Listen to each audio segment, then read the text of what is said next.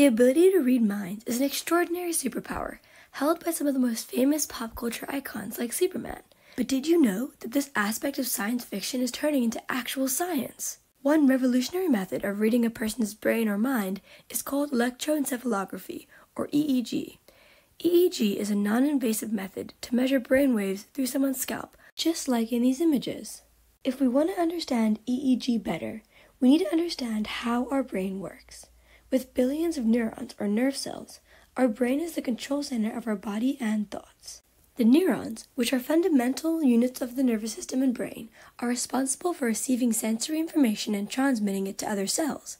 Neurons communicate with each other through a combination of electrical signals called action potentials and chemical signals called neurotransmitters. When a neuron wants to send a signal to another neuron, an action potential travels down the axon of the first neuron. This action potential then causes the neuron to pass a neurotransmitter to the other neuron through a synapse, which is a small gap between two communicating neurons. The neurotransmitter can determine whether the next neuron fires to continue the signal. So, in order to read the brain, we can just read the information that each individual neuron transmits, right? Unfortunately, there are too many neurons to track individually, and the electrical signal produced by a single neuron is not strong enough to be detected from outside the scalp, where the EEG headset sits.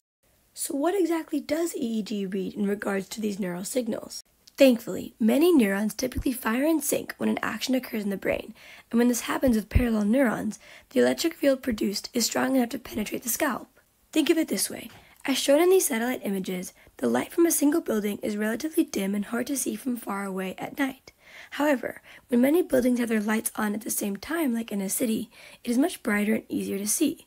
This is just like electrical signals from neurons. Even so, the electricity measured at the scalp is only about 10 to 100 microvolts, to put this in perspective, a standard incandescent light bulb in your house is powered by about 120 volts, which is over 1 million times as much as the voltage read by the EEG sensors, making these sensors extremely accurate. So, how do we read and understand these measurements?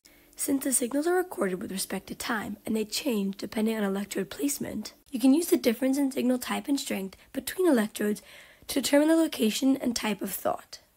For example, Look at this heat map of the brain depicting EEG signal strength, with red representing a strong signal and blue representing a weak one. The red signal is centered around the motor cortex region of the brain. Based on this, we can assume the person is thinking about motion. Beyond just reading minds, EEGs can be used for numerous applications, from controlling prosthetics to understanding mental disorders like epilepsy.